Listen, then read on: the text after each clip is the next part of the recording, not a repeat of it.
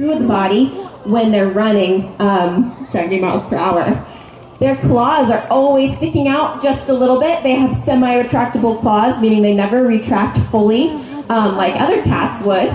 They're always sticking out. They're nice and dull to give them traction in the ground when they're running.